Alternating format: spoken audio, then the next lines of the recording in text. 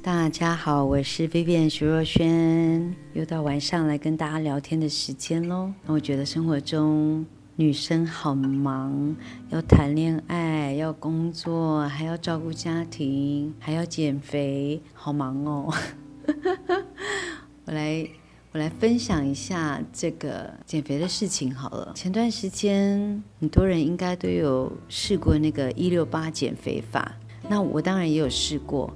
但是这个对我，我比较难持续，因为一六八就是八个小时你可以吃东西，十六个小时不能吃东西，所以三餐你要有一餐选择不吃，可是你要隔十六个小时不能吃，所以你不是 skip 掉早餐，就是 skip 掉晚餐。那因为我生活就是要快乐。所以晚上有时候跟家人吃饭，或跟先生吃饭，或跟姐妹吃饭，对我来讲是我很重要的快乐元素来源。所以我不能 skip 掉这一块，所以就只有早餐。所以我当时就实施了十六八式，早餐我不吃，我大概中午十二点一点才吃。但是我发现我没有办法持续很久，因为我就胃食道逆流了。因为我早上起来又喜欢喝咖啡，所以我空腹喝咖啡。然后加再加上运动，好像不太合适。所以呢，你们要实施减肥法，一定要找适合自己的方法。但是很多人用都是有用的。对我这种很爱吃东西的人，很爱喝咖啡的人，中午前又喜欢运动跑步的人，我好像不太行。我没有吃一点东西去跑步，有时候觉得自己会头晕。所以你们每个人要看自己的体质，去选择一个合适的方式。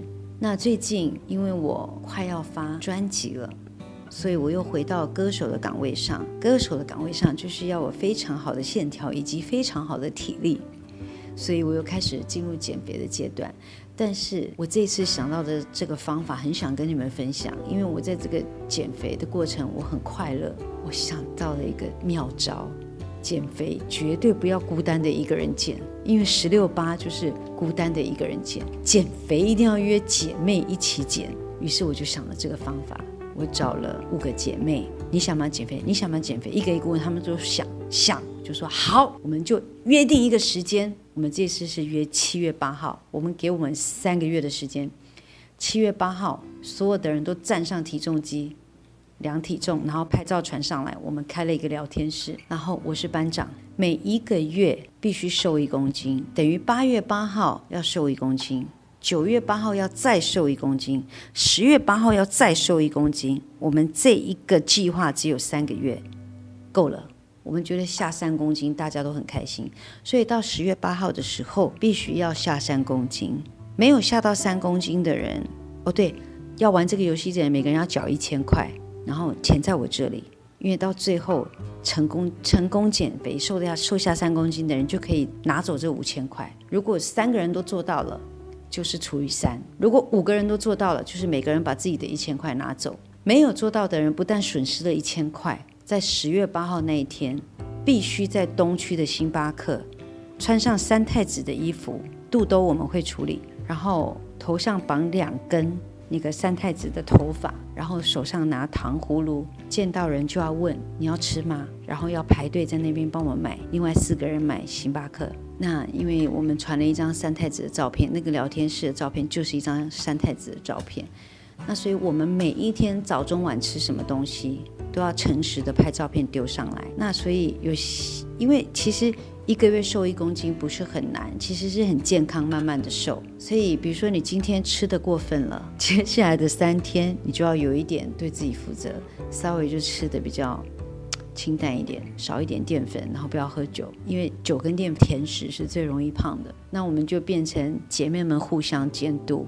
如果成功了有奖，然后如果偷懒了有罚，然后这个罚，因为大家都非常的害怕，因为没有人想要扮三太子在东区，所以目前我们进行的不错。我们每一个月要瘦一公斤，这是一个健康的呃瘦身顺序。但是如果你这个月真的没有瘦到，那你后面两个月就必须瘦三公斤。那我们每一个礼拜三的早上都要站上体重机全裸，因为每个人衣服重量不一样。所以每一次要全裸的那个才会准，然后拍体重机，然后跟你的脚趾头上来，要确定是你的脚，不能骗人。所以目前为止，我们七月八号开始的，其实我们每一个人都瘦了，而且瘦得很快乐，因为我们常在聊天室里面就会互相窥对方，然后看别人别人吃的食物。不然就身边的人会帮忙。他如果在吃一些很不应该吃的零食，旁边就有人拍照丢上来。所以我觉得这个是姐妹们一起互相督促，然后一个很快乐、有人陪你的一个很棒的减肥法。试试吗？要不要加入我们三太子的行列？我觉得你们可以呃跟自己的姐妹或者是家人一起去，想要变得更健康、想要变得更有线条的人，你们可以一起一起去呃。呃，开一个这样子的聊天室，但是那个惩罚必须是大家都很不愿意做的事情才有用哦。当然，因为三太子，我有两个姐妹本来想要参加，一听到三太子，他们就退出了。我觉得，那你根本就没有很想减嘛。如果你有这个决心的话，你根本不会办三太子，你还怕什么呢？对不对？嗯，我早中晚三餐都有吃，因为我觉得早上不能空腹，因为我要喝咖啡，我要运动。所以呢，我会吃一口东西，比如说一口芭辣，或一片小黄瓜，或者是一颗水煮蛋。哦，一颗水煮蛋对我来讲是量比较大的，因为水煮蛋还蛮大颗的。我的一片小黄瓜是那种大概十块钱硬币这样子，因为我就别空腹就好。我们要把胃缩小，就是小鸟胃，每次都吃到饱。你就会胃一直撑大，你会你会有很很高的需求跟欲望，所以我们就是不饿了，吃一口进去不饿了就好了。我刚刚有提过，晚餐对我很重要，因为大部分的人白天都要上班啊，所以晚餐才有机会大家相聚在一起。所以我觉得跟朋友们、家人姐妹的聚会也非常重要，所以我绝对不会选择晚餐。可是我晚餐淀粉几乎不吃哦，我的淀粉如果要吃，我会在中午吃。所以我们的菜要够，蛋白质要够，因为我们女生呢，肌肉量要够，如果不够就很容易受伤。可能你拿个包包啊，或弯腰做个什么事情，都很可能就不小心受伤，那就是因为你的肌肉不够。那所以呢，我们要多吃一些蛋白质的东西，然后青菜，这些你吃到饱也不会胖的。所有胖的东西都是有糖饮料、淀粉，所以要减肥的时候，请不要喝有糖饮料，跟请不要吃零食。你可以准备没有调味的坚果，因为坚果是好油。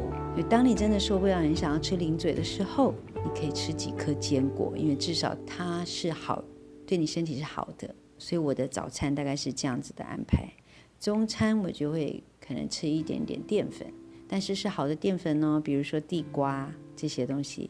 那忍不住的时候可以吃一两口淀粉，比如说朋友点意大利面，我真的超想吃的，我觉得一口不会怎么样。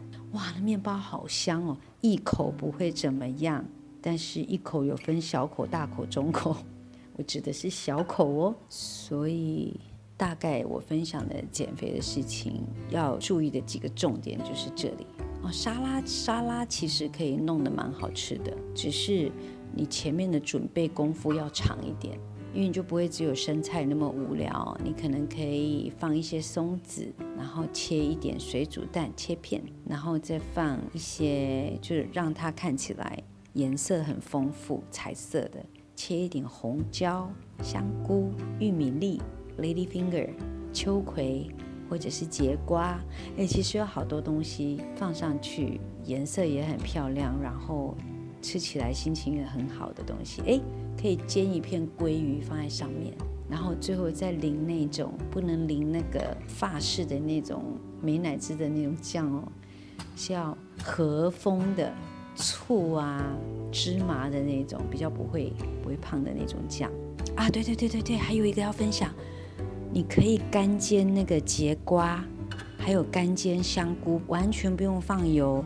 你如果真的呃要放油，你就放一滴橄榄油，因为橄榄油对身体是好的。人人也不能完全没有油，然后就撒一点点盐巴跟一点点胡椒。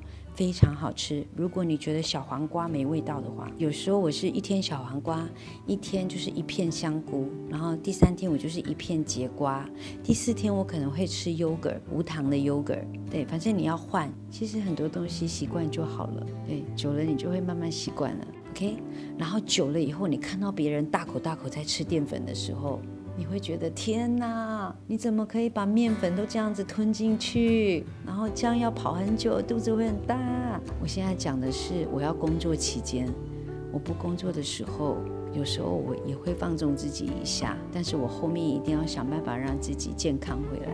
有时候有线条是自己看的高兴，不一定是为了谁，是为了自己的健康，然后让自己可以穿更多漂亮的衣服。身体变得更轻盈的时候，精神也会变得更好哦。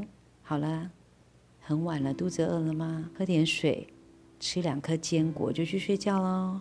零食柜关起来，泡面不能吃哦。有空的时候可以把你家的泡面转过来看一下，那些红烧牛肉面的卡路里都是超过一千的，然后清淡一点的也有个四五百。你知道四五百要跑多久吗？跑步机上面要跑两个小时哦。一到两个小时，哎，有时候真的很想吃泡面的时候，别人吃很瘦很瘦很有本钱吃的人，你就跟他要一口来满足你的欲望就可以了。乖，去睡觉喽，我也要睡了，我好饿哦。哦不，我不饿，我不饿，我喝一点水就可以了。OK，晚安，我爱你们哦，祝你们每个人都漂漂亮亮，瘦身成功。